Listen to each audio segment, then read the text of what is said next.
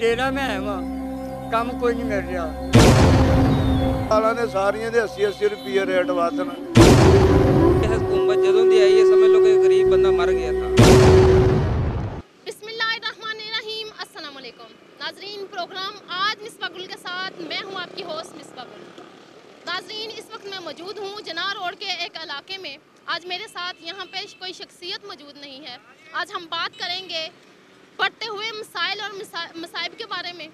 अगर मसाइल और मसाइब की बात की जाए तो आटे के बढ़ते हुए बहरान के सवाल सबके जहन में गर्दिश कर रहे हैं।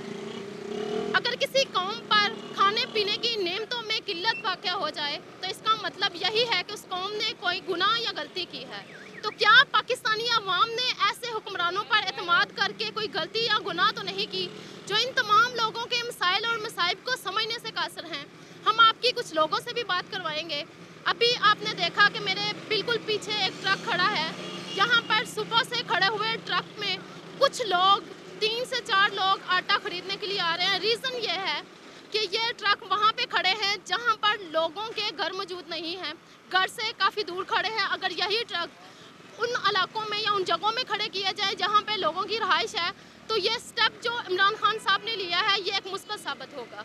आपने अंदरूने शहर के हालात देख लिए अभी हम आपको बरूने शहर लिए चलते हैं और वहाँ पर जाते देखते हैं कि वहाँ के क्या हालात हैं आए हमारे साथ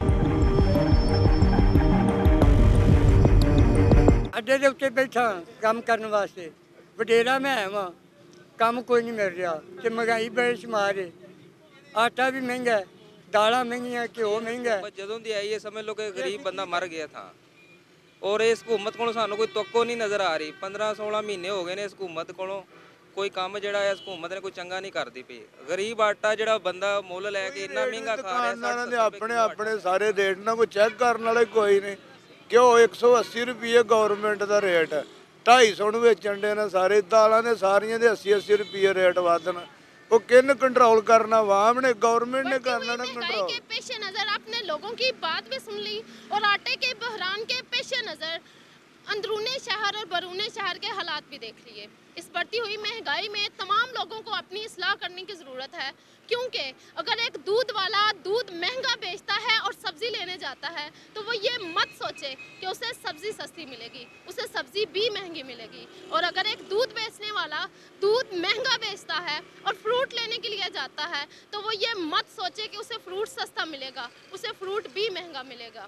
तो इन तमाम हालात के पेश नज़र हम सबको अपनी असलाह करने की ज़रूरत है। इससे पहले कि अल्लाह ताला हमारा खुद एहतसाब ले। इसी के साथ अपनी होस्ट मिसबा गुल को इजाज़त दीजिए। एक नई शख्सियत या फिर नए इशू के साथ फिर हाजिर होंगे। तब तक के लिए अल्लाह हाफिज़।